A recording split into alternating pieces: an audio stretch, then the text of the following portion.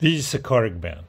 It's considered a very reliable bend, and after load, it's relatively easy to untie. And for critical loads, uh, the ends of a rope uh, has to be uh, longer, like that, for example.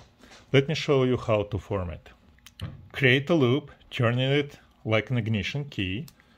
So you have, so you have it this the end of the under the main line, and after that go go around the this line, go around the end of a red loop, take this loop, go under, and tie it.